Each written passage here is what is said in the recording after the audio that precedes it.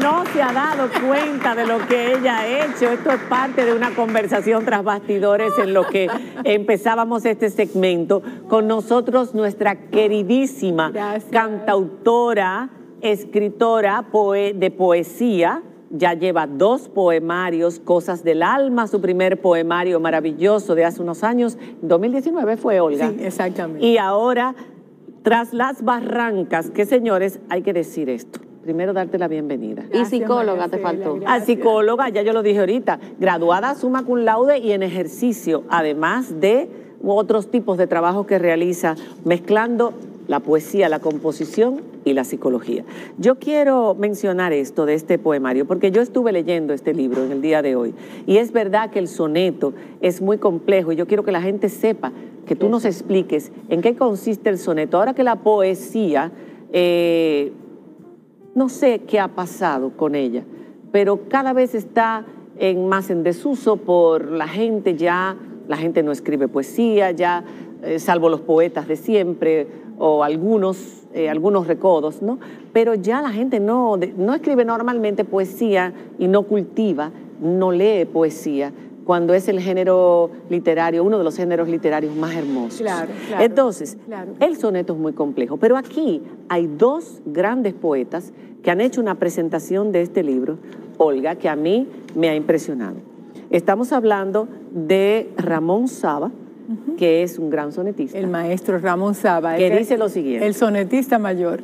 Olga Lara, con la publicación de sus dos poemarios, Cosas del Alma y Tras las Barrancas, demuestra ampliamente su inequívoca vocación para la producción poética. Esto no es que ella está empezando y que aquí estamos haciendo los pininos, que ya está consagrada. En sendas obras, esta compositora y poeta dominicana muestra un vasto caudal de conocimientos sobre las técnicas escriturales de la poesía clásica, las que domina tan magistralmente que ha logrado convertirse, si no en la pionera, en una de las primeras mujeres creadoras de sonetos melódicos en la historia de la humanidad. Pues yo no me creo eso, pero dice el maestro que sí. Yo, inclusive, señores, buenas noches. Un honor estar con Camila y María Cela. Mi admiración para estas dos grandes mujeres y para este exquisito programa. Es un privilegio poder estar viendo esta noche María Ahí Cela. Están todas mis amigas Azuana. Olguita, María Cela, corre, ponla, ponla, ponla. pues, eh, María Cela, ¿qué te digo? Cuando el maestro hace ese señalamiento. Y le digo, maestro, por favor, ¿usted está seguro de lo que usted está diciendo? Pero no fue el único. No, exactamente. El prologuista de la obra es el maestro eh, César Sánchez Veras, laureado poeta, premiado y, reconocido aquí fuera, igual, al igual que el maestro Ramón Saba.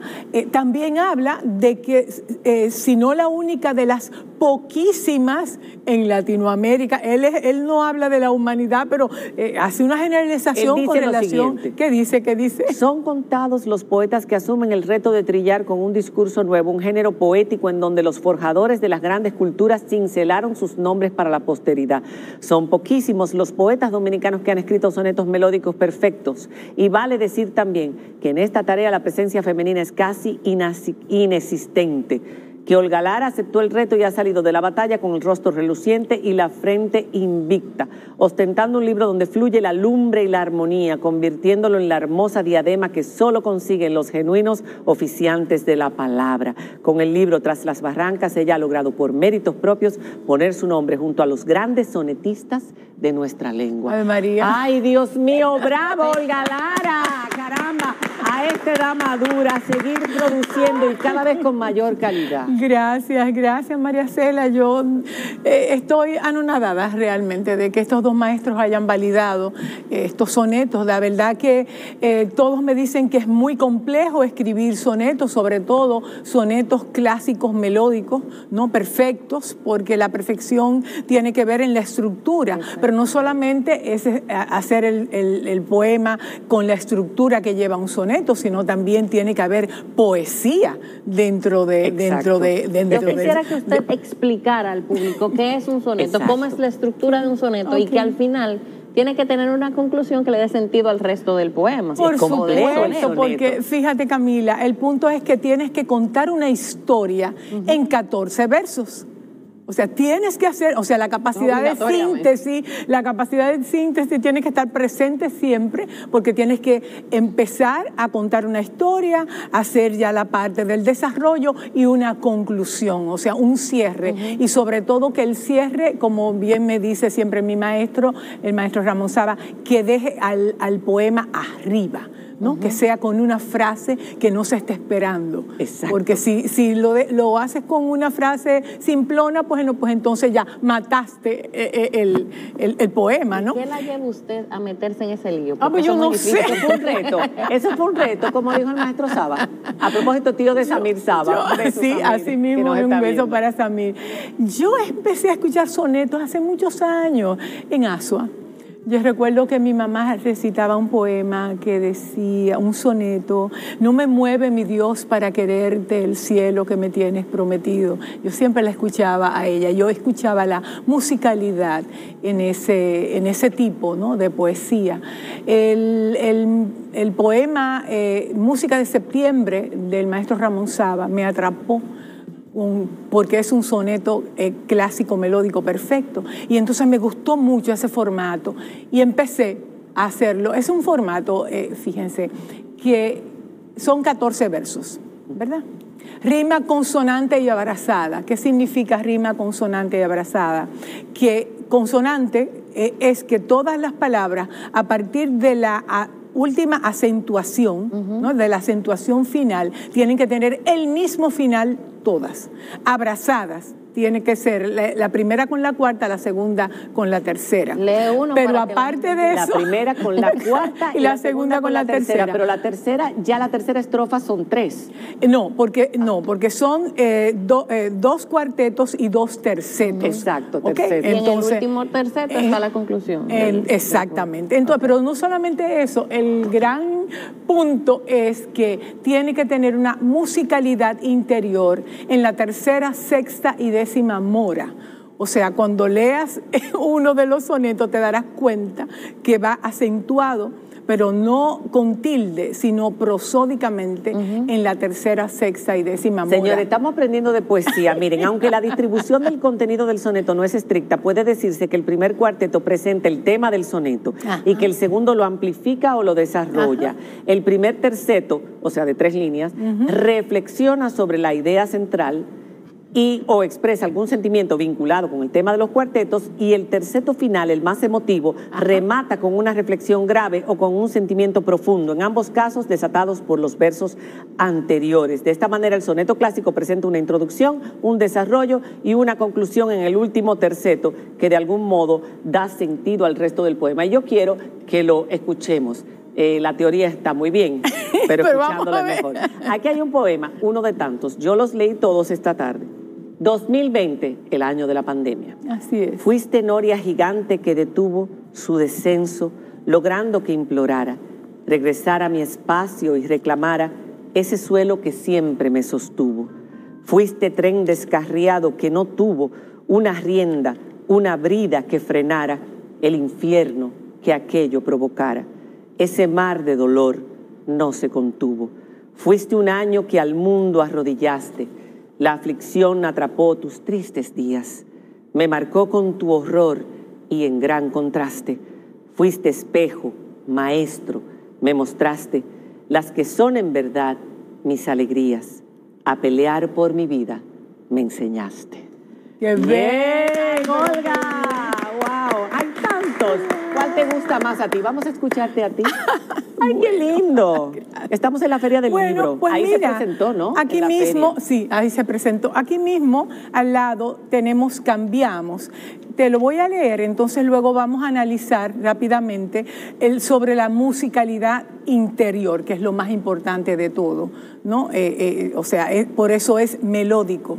Cuando estamos al borde del abismo, cuando toda esperanza se ha esfumado, cuando intensas plegarias se han rezado y lo absurdo llegó hasta el paroxismo, cuando el ego nos lleva a un espejismo, inservible es el mapa ya trazado, subterfugios y trampas han fallado, se bifurca el camino hacia uno mismo. Cuando vamos perdiendo lo que amamos y en pedazos se quiebra nuestra vida y de un soplo los sueños destrozamos, Cuando un negro horizonte contemplamos y no vemos el punto de partida, damos paso al amor y al fin cambiamos. Wow. Dios, Dios, es que son tantos. Ahora, Háblame un poquito de, esto. porque de la, de la acentuación, eh, fíjate, fíjate, por ejemplo, en el primer poema que leíste, en el primer soneto, vamos a, analizar los primeros cuartetos, ¿no?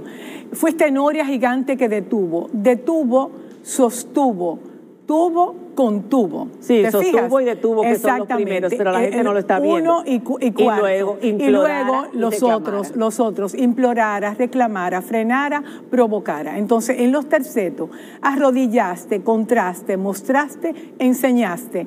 Y días y alegrías. Y ustedes construyen, ponen las palabras primero y luego a partir de ellas hacen el, poema, porque hay muchas formas de llegar pero a Roma, muchos caminos, me imagino. Pero, pero ¿cuáles son los caminos que utilizas tú? Mm, eh, hay, hay, inicialmente un estímulo, ¿verdad? Un estímulo. Eh, por ejemplo, eh, para hablar de un estímulo, yo estaba una vez en, con Karina y mis nietos y mis hijos en Disney, ¿no? Y vi a, una muchacha con una, una jovencita con una cara preciosa, preciosa. E inmediatamente cuando bajé la vista, la vi que estaba en una silla de ruedas. Ahí está el estímulo para hacer el poema. El motivo. Entonces, el epígrafe dice, no es lo que se llevan de ti lo que cuenta, es lo que haces con lo que te queda. Entonces el poema habla de lo siguiente, en un parque de luces tropecé con un rostro apacible, encantador, cual reflejo de un mundo seductor y esa faz tan serena yo admiré. A seguidas, muy triste contemplé en su silla de ruedas el dolor y en sus piernas el peso abrumador de un oscuro silencio, de un porqué. Luego observo a una joven que corría con el ceño fruncido, pues olvida el tesoro que en ella poseía. Sin embargo, la niña que tenía mil reclamos y quejas de la vida, a pesar de su mal, no sonreía. ¡Ay, qué lindo! Señores, es hermoso dedicar un momentito a la literatura, a la poesía en este caso en particular, Camila. Precisamente por eso me acordé de, una discusión que teníamos en el chat del, programa que hacemos producción y decíamos, ¿qué es el arte? Para usted, que ha sido cantautora, que hace esta clase de, obras eh, literarias, lo que se está haciendo ahora, eh, con, sobre todo con la lírica de las canciones, eh, ¿qué opinión le merece lo que está pasando ahora?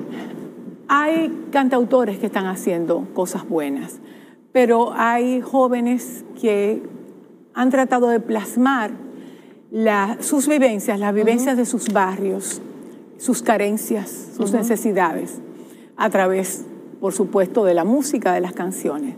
Eh, yo no critico eso, yo creo que sí que se debe hacer presente, se debe visualizar lo que esté pasando en un barrio lo que no me acaba de cuadrar, vamos a decir, es que se utilicen palabras soeces para hacerlo.